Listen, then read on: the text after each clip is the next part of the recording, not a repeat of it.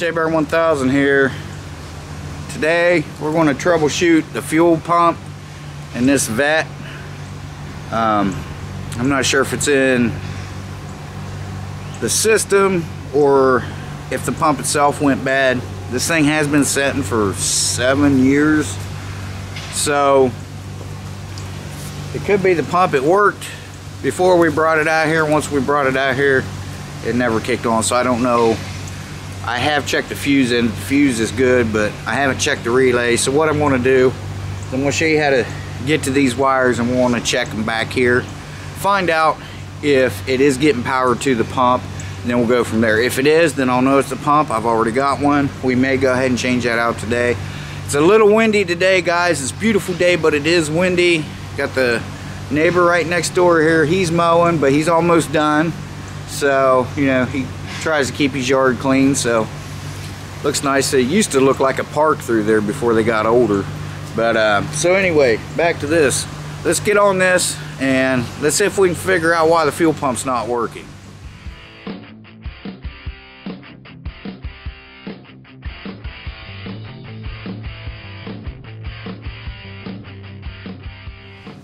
Okay guys, so the first thing we got to do is when you lift this up, there's a screw here, one there, one back there, and one back there. It's just it's just four screws that holds this on. So we're going to take them out. They are Phillips screws. I got the top down on it, letting it air out. You know, getting that old car smell, that musty smell. You don't want that.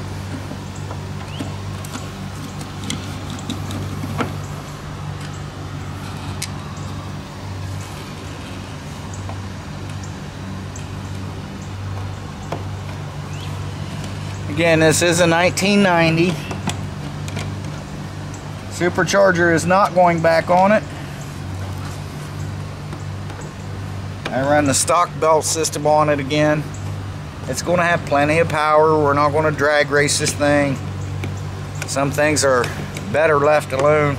I'm not sure what the differential the rear end is. I don't know if it's 373. It is a it is a posi, but I'm not sure what posi it's got in it. I don't know if it's 373 or what. So, all right. Now we got to get this out of here. I got this ready here to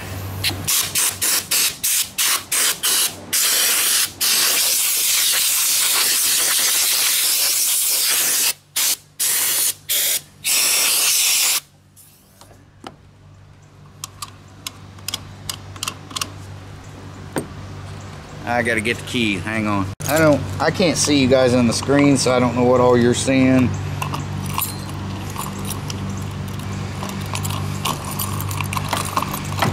Now we gotta get. Gotta get this up out of here.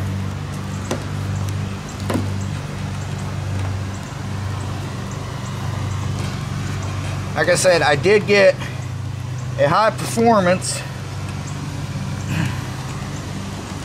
uh, fuel pump for because this engine is not stock. So I got one that's good up to seven or eight hundred horsepower.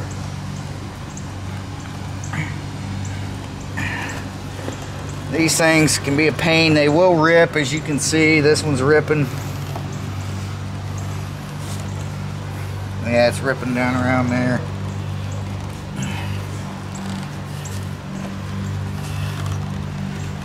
but you have to get, you know, you got to get it out. These things aren't very much money. See, uh, this one's been patched. So this has been out before.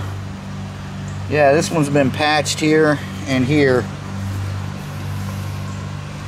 And here's all our wires. And now I see something already I don't like. There is a wire let me see what you guys are looking at here I don't know there's a wire here that has a scotch lock on it.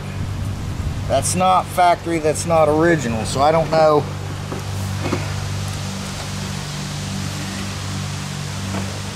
There's also one here with a wire nut on it. That's not original. Let me put this cap back on so I don't get a bunch of dirt down in there.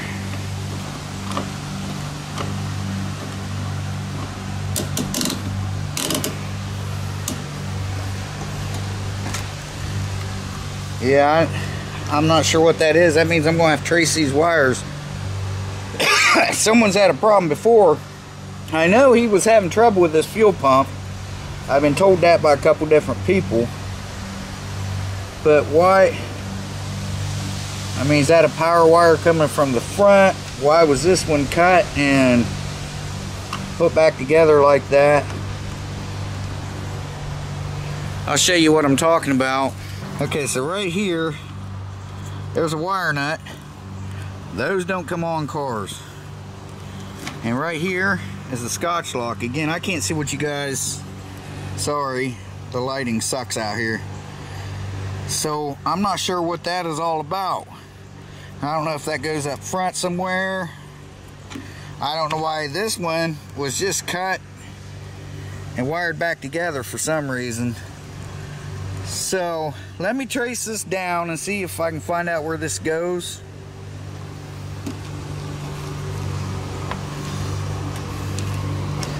But anyway, to take the fuel pump out, there's four bolts here. Wait, one, two, three, four, five, two, three, four, five, Okay, there's a bolt that's not all the way in there. This fuel pump's been out of here before. Six, seven, eight, nine. Looks like nine or ten. There's a bolt right here. Again, I can't see what you guys are. Right there, there's a bolt that's not all the way tight. This fuel pump's been out of here before. But I don't understand the wire the wire deal. I got to get the wire straightened out before I put a new fuel pump in it. So let me see if I can trace trace out trace where this goes. Looks like it's going down underneath the car. All right, let me see what I can find out real quick. Okay, guys, I got Monkey here. She's gonna give me a hand real quick. I've got my test light grounded onto the trailer hitch. I think the brown and white wire should be positive, so it should come on for at least two seconds and then go out. All right, let's see. Go ahead, Monk, turn the key on.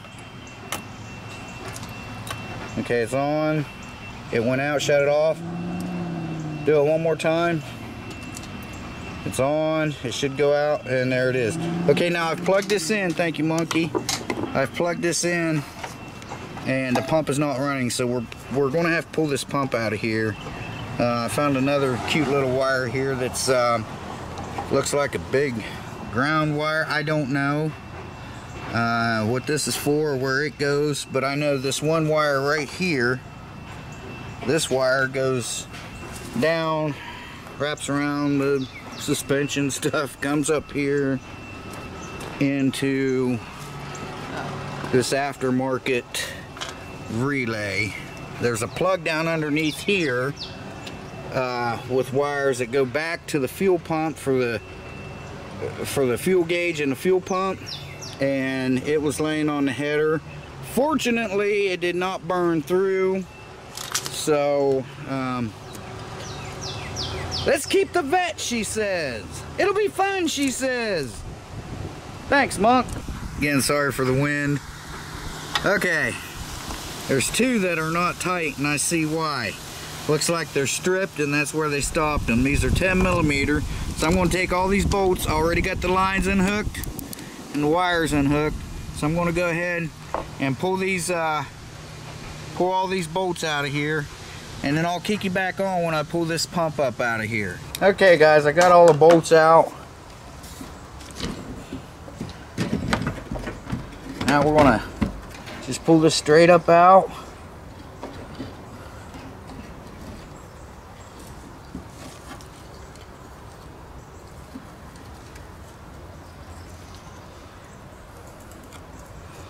Just like that. Be careful with this thing because that is your float for your fuel gauge. And if that gets messed up, shoot. Now look at that. But anyway, if you bend that, you'll get a false reading on your gauge. That's busted off for the gauge. So the gas gauge is not going to work. All right. Let me get this set over here. We'll clean it up and make sure that none of the lines are clogged. They shouldn't be, but we'll get it cleaned off and we'll put a new uh, new pump on it. Okay guys, again sorry for the wind. I'm just going to get a whole new sending unit. Um, I got a little concerned about all this rust, but I looked down in the tank and the tank is fine. So,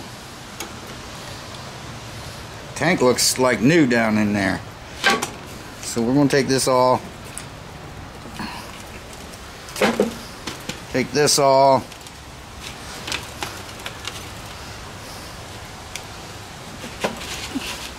I'm going to take this off. Alright. There's the old pump. I got the new one in here. I'm going to clean all this stuff up. I am going to stick it back in. I am going to put this back in there see if that was the issue or not. I think it was. But uh, it may be fired up. Let it run for maybe a minute or so. Um, but the tank looks fine in there. Apparently there is some moisture in it from sitting in that garage for five years, sitting out here for two years. So,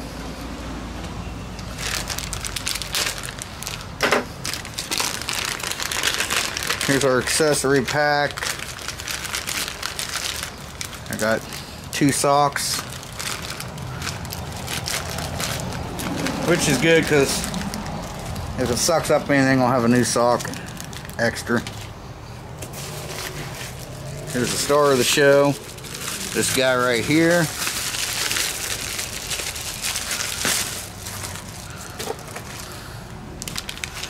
Yep, there, there it be.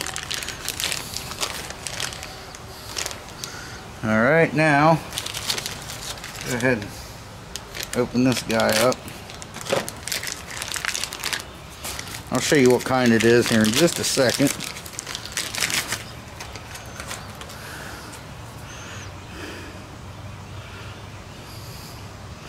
And it works on OEM stuff and okay so now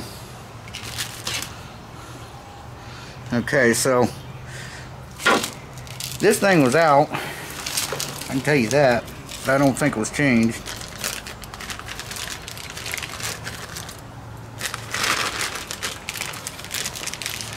Here's just some clamps. Uh, some of these little things here, butt connectors. I'll need a new gasket around here. Like I said, we're not driving this car yet, so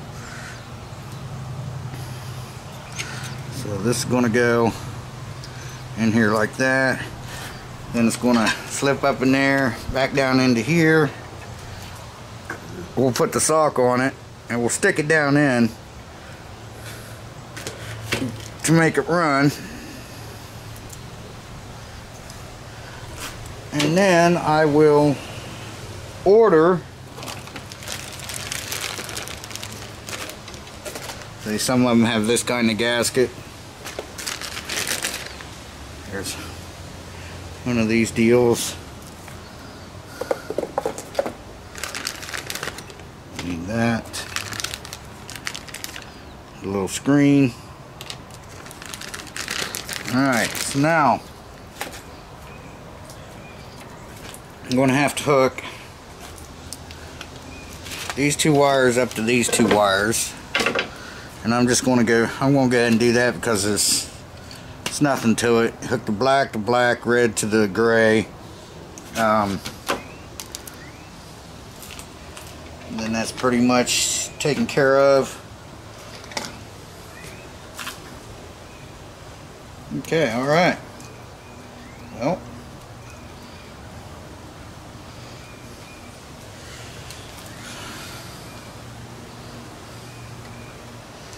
just checking some things here. All right, cool. All right, let me, uh, could be in this thing here. Right here, could be in that. Let me get it hooked up. We'll turn the key on, see if it, see if it pumps. But it needed a pump anyway. I can't get over how clean that tank is. I'm just wondering if he didn't replace the tank and stick this old junky thing back down in there. Because that tank looks like new on the inside. But I may have to replace it because those two those two bolts that were in there cross threaded were in there tight and they're stripped. Uh, so I may have to you know if I pull that tank out to tap them out I'm just going to throw another tank in it. But we'll burn that bridge when we get to it but so all right. Let me get this put on here. Like I said all this does is this goes up in here like that. This goes down through here and then the sock goes on it. May not even need that for right now because I'm going to be pulling this out again. So we just want to be able to get to where we can hear it run today. So alright guys I'll be back with you. Hang tight Okay guys, we're going to hit it one time. The fuel injector still ain't firing, but it does have fuel pressure up to the fuel rail now, and it's also got a leaky injector that it never had before. Hit it, Monk.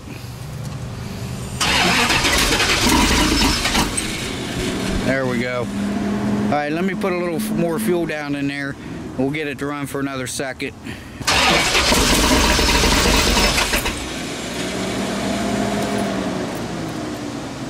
Running, let off that key.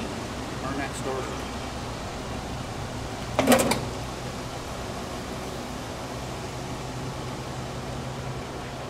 Get it?